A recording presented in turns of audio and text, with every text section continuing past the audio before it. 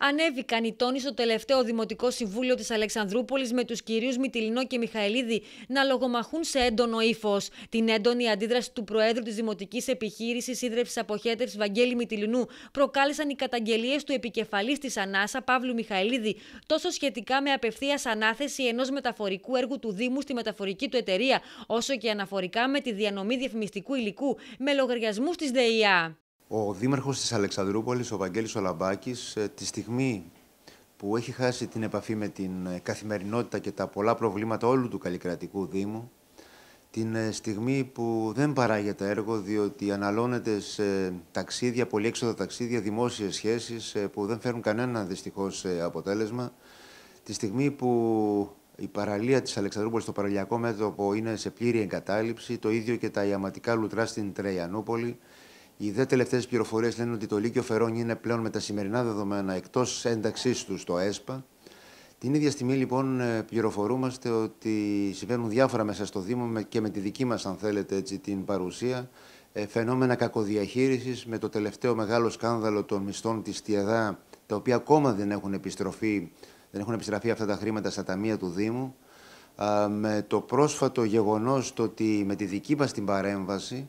και τη δική μου προσωπικά και με ερώτηση μέσα στο Δημοτικό Συμβούλιο, ε, αποτρέψαμε μια απευθείας ανάθεση για μεταφορά προϊόντων προς την μεταφορική εταιρεία του Δημοτικού Συμβούλου αλλά και Προέδρου της ΔΕΙΑ του Βαγγέλη του Μητυλινού, το κλίμα στο Δημοτικό Συμβούλιο ήταν πολεμικό, αφού ο κύριος Μητυλινό με βαριές εκφράσεις απευθύνθηκε στον κύριο Μιχαηλίδη, κάνοντας λόγο για τα ακριβά ταξίδια που πηγαίνει και που διαφημίζει στο Facebook, για το ότι, όπως είπε, δεν απασχολεί ούτε έναν υπάλληλο, αν και επαγγελματίας, για το ότι ο ίδιος εργάζεται και δεν ρεμβάζει από τον μπαλκόνι του σπιτιού του, ενώ τον κάλεσε να πει την αλήθεια, εάν φοράει παντελόνια όπως χαρακτηριστικά τόνισε. Επί της ουσίας των καταγγελιών, ο κύριος Μητυλινό σημείωσε πως για την απευθείας ανάθεση δεν γνώριζε ο ίδιος και πως ο Δήμος δεν πλήρωσε ούτε ένα ευρώ στην εταιρεία του. Για τα διαφημιστικά ανέφερε πως μπήκαν δοκιμαστικά σε κάποιους λογαριασμούς με στόχο την αύξηση των εσόδων της ΔΕΙΑ, αντικρούοντας τον ισχυρισμό του κυρίου Μιχαηλίδη πως απαγορεύεται από την νομοθεσία, αλλά και ότι δεν γνώριζε για αυτή την κίνηση το Διοικητικό Συμβούλιο της επιχείρησης.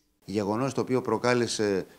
και το ανέφερε και ο κύριος Δήμαρχος στην προθεσινή συνεδρία του Δημοτικού Συμβουλίου και την παρέμβαση της ε, δικαιοσύνης, όχι από εμάς, αλλά από τα δημοσιεύματα τα οποία υπήρχαν στον ε, τύπο. Ένα γεγονός το οποίο δεν μπόρεσαν να το καλύψουν, δεν πείσαν προχθές το Δημοτικό Συμβούλιο με τις ε, απαντήσεις τους, όταν μάλιστα λένε ότι μια ανάθεση η οποία έγινε, αναρτήθηκε στο διάβια με όλες τις ε, υπογραφές την τελευταία στιγμή και μετά από την παρέμβασή μας την πήραν πίσω δηλώνοντας ότι δεν ξέρανε και μάλιστα φτάσαν στο σημείο να λένε ότι ε, μπορεί να φταίει και κάποιος υπάλληλος.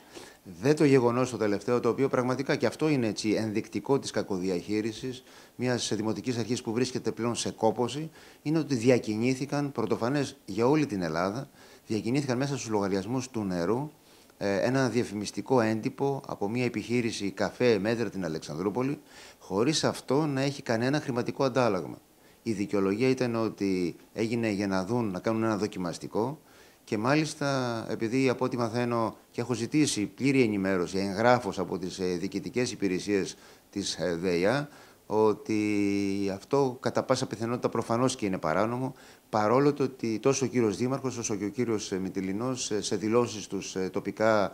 ενημερωτικά μέσα δηλώνουν μια νόμιμη ενέργεια, χωρίς βέβαια να μπορώντας να τη δικαιολογήσουν πώς αυτό έγινε, χωρίς να υπάρχει κάποιο αντάλλαγμα.